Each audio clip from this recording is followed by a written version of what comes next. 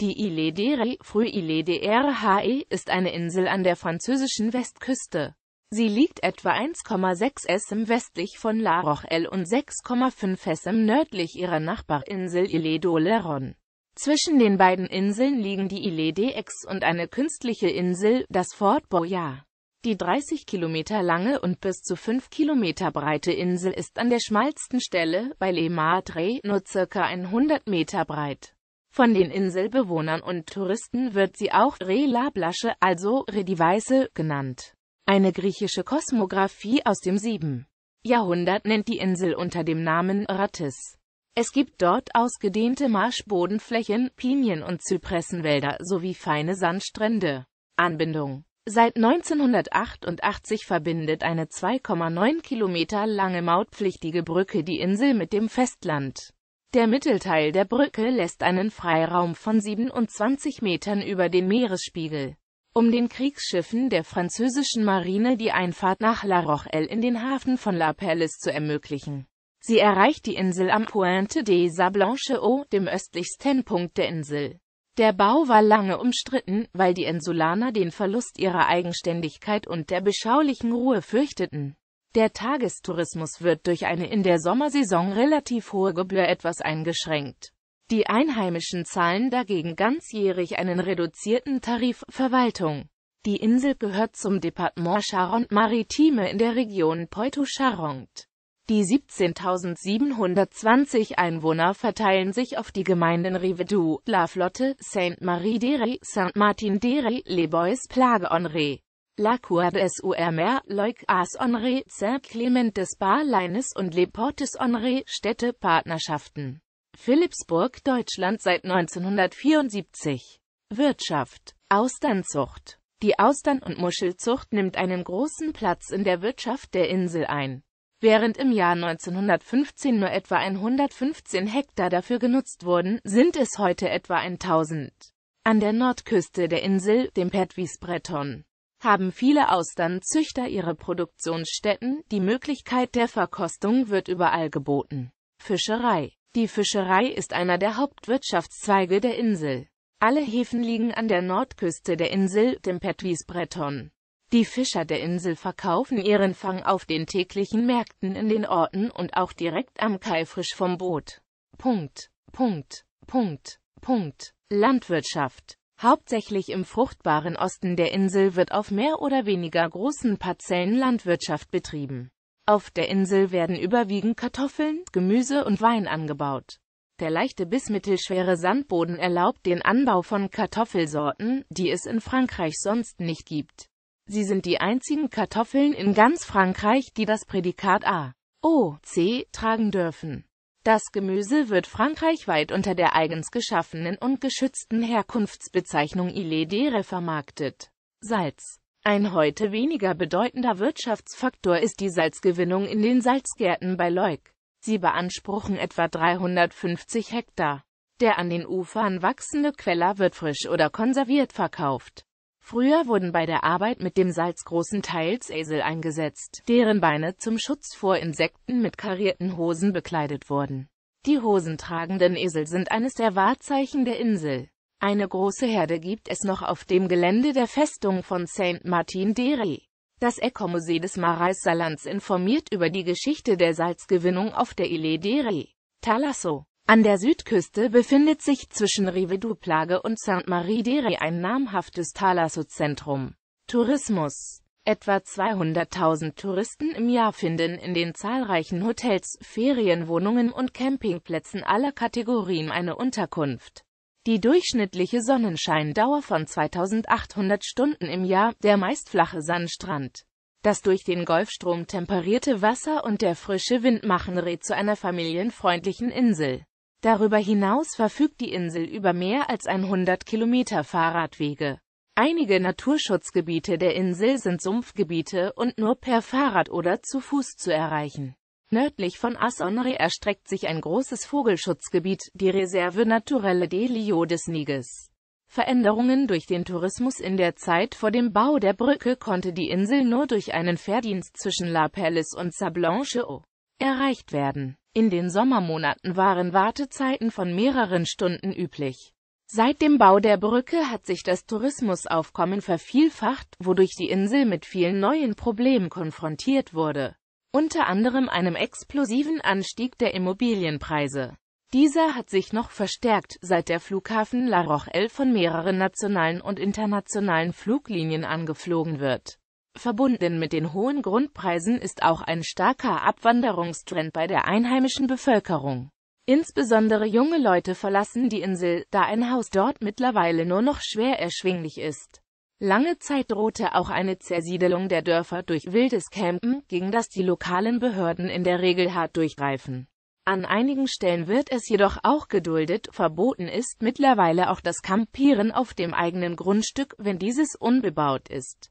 Der Anstieg des Tourismusaufkommens hat der Insel jedoch auch Vorteile beschert. In der traditionell armen Gegend wurden sehr viele neue Arbeitsplätze geschaffen, auch der Absatz der landwirtschaftlichen Betriebe konnte deutlich gesteigert werden. Ein weiterer positiver Effekt ist die Renovierung der Dorfzentren, die in den 1980er Jahren zumeist in schlechtem Zustand waren. Zahlreiche französische Prominente haben in letzter Zeit Ferienhäuser auf der Insel erworben. Verkehr durch die ständig wachsende Bevölkerung und den expandierenden Tourismus war es zum Ende des 19. Jahrhunderts notwendig geworden, bessere Anbindungen an das Festland zu schaffen. Deshalb nahm 1875 ein Pendelverkehr zwischen Rivedoux und La Palisse mit Dampfbooten den Betrieb auf. Im Juli 1895 wurde die Eisenbahn zwischen Ars-Honré und La Couade eingeweiht. In den Jahren danach wurde die Strecke über Saint-Clement des Bar-Lines bis Les Portes-Honré erweitert. Aus dieser Epoche sind nur noch der Bahnhof von Ars und der Lokomotivschuppen in Les Portes übrig geblieben. Seit die Bahn 1935 ihren Betrieb einstellte. Der Bahnhof dient dem Maler Philippe Deschamps als Atelier und Galerie, der ehemalige Lokschuppen dient inzwischen als Remise der Feuerwehr. Heute ist der Streckenplan der Autobuslinie zwischen Les Portes-Honré und Liarochel gut organisiert. Auch die kleinen Orte auf der Insel werden bedient. Die Buslinie befährt auch die mautpflichtige Brücke zum Festland.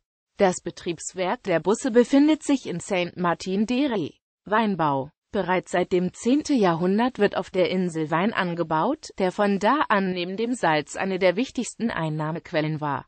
Die Anbauflächen dehnten sich zeitweilig weit über 1500 Hektar aus, so dass der ganze südöstliche Teil der Insel, nur von einigen Getreidefeldern unterbrochen, mit Weinpflanzen bedeckt war.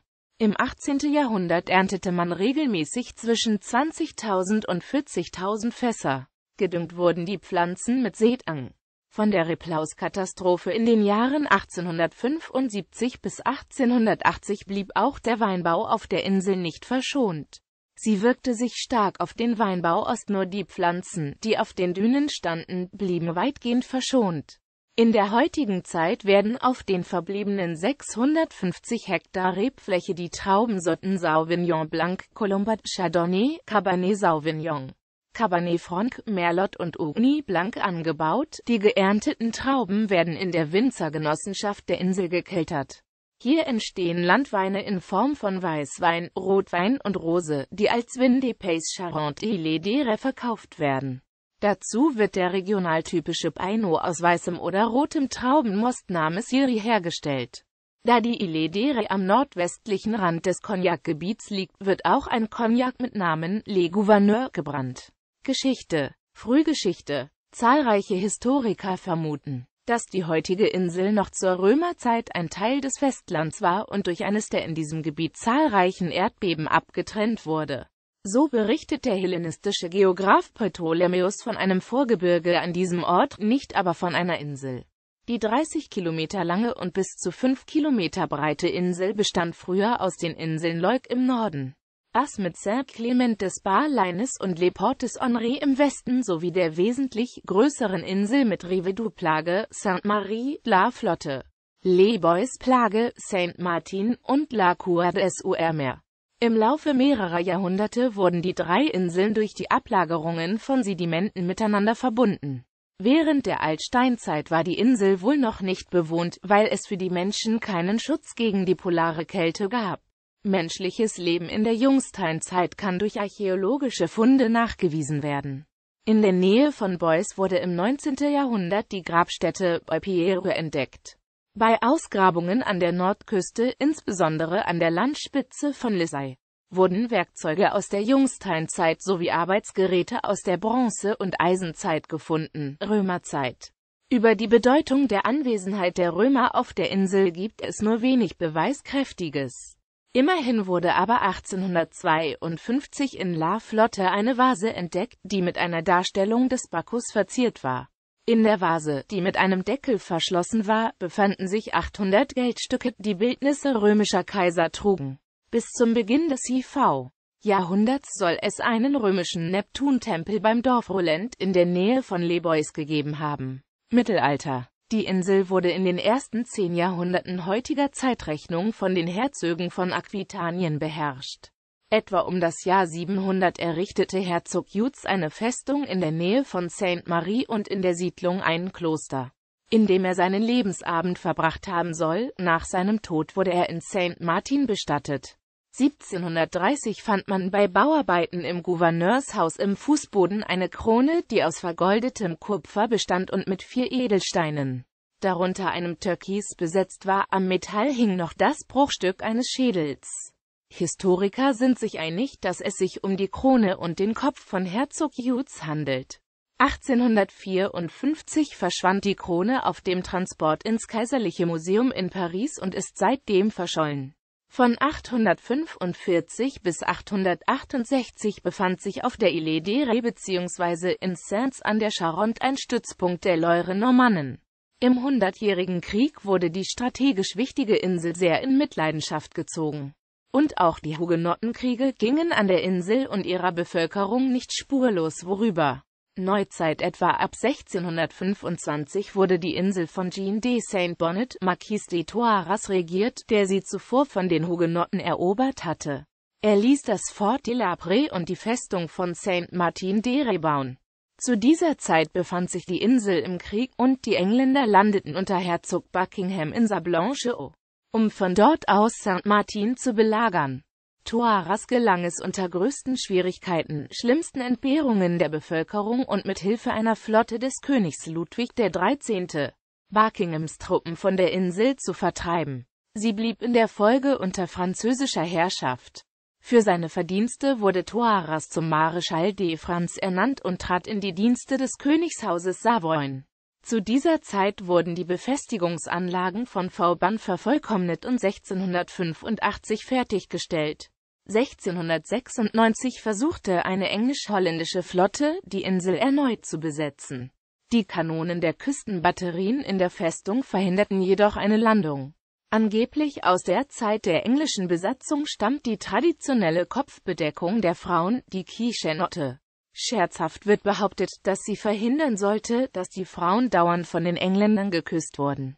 Auf Vorschlag des damaligen Marineintendanten von Rochefort, Charles Colbert d'Etero, veranlasste Minister Colbert, der gleichzeitig sein Cousin war, den Bau des ersten Leuchtturms an der Nordküste der Insel. Er wurde 1682 fertiggestellt.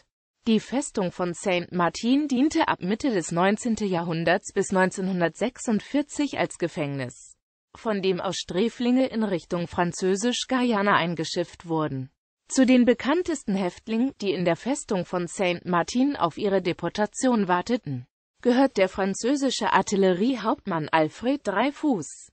Er war in der Festung vom 17. Januar bis zum 21. Februar 1895 inhaftiert, bevor er aufgrund seiner unrechtmäßigen Verurteilung in der Dreyfus-Affäre auf die Teufelsinsel deportiert wurde.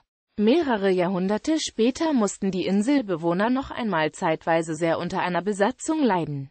Weil die Ile d'Ere von der deutschen Wehrmacht ab 1940 besetzt war. Noch heute findet man, hauptsächlich an den Stränden der Südküste, einige aufgelassene Bunkerbauwerke, die wohl noch ein weiteres Jahrhundert brauchen, bis sie der dünnen Sand vollends bedeckt hat. Ein Abtragen der Werke wäre zu teuer, auch gehören die Bunker inzwischen zum typischen Bild der Strände und dienen als Mahnmale. Allerdings sind die Bunker auch eine Gefahrenquelle, vor allem für spielende Kinder. Sehenswürdigkeiten Festungsanlagen in Saint Martin d'Ere erbaut von Vauban. Ferdesbal eines Erbaut 1854 als Ersatz des im 17. Jahrhundert von einem Bauunternehmer aus La Rochelle auf Anweisung des Ministers Colbert errichteten Leuchtfeuers für Schleusen bei Saint-Clement des Bar-Leines und Sainte-Marie-de-Ré. Sie stehen zwar unter Denkmalschutz, werden aber von einer Interessengemeinschaft instand gehalten und betrieben. Der Fang steht den Mitgliedern zu. Eine Wanderung bei Ebbe über den Schleusenwall am Leuchtturm ist ein interessantes Erlebnis.